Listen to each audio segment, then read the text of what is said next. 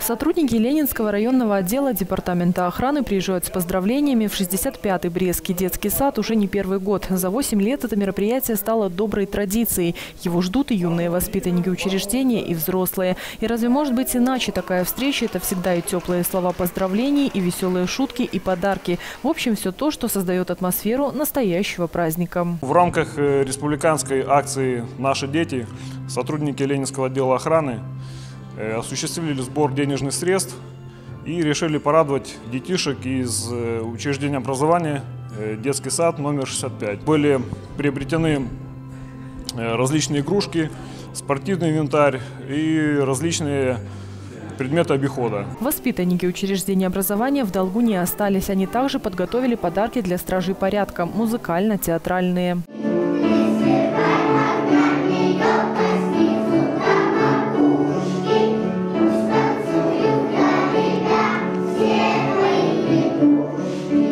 Дети, конечно же, ждут, они знают, кто к ним приедет в гости, они приблизительно знают, что им ждать, и, конечно, готовятся, вспоминают новогодние номера.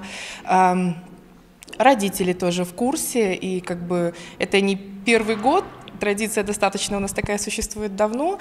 И вы знаете, это сплочает, наверное, нас всех. А Мы в очередной раз эм, водим хороводы возле елки, веселимся, ну и, наверное, приурочиваем этот праздник, эту нашу встречу к прощанию с елкой, потому что новогодние праздники прошли, и все-таки елку уже скоро убирать. Показательные выступления специалистов со служебными собаками – обязательная и очень любимая малышами часть праздничного визита правоохранителей. Ажиотаж среди ребят вызвало и появление на площадке перед детским садом необычного игрушечного автомобиля. Желающих сфотографироваться на фоне машины оказалось так много, что порой самого авто даже не было видно. Анастасия Стропко, Денис Величкевич, Антон Луговкин. Телекомпания «Бук ТВ».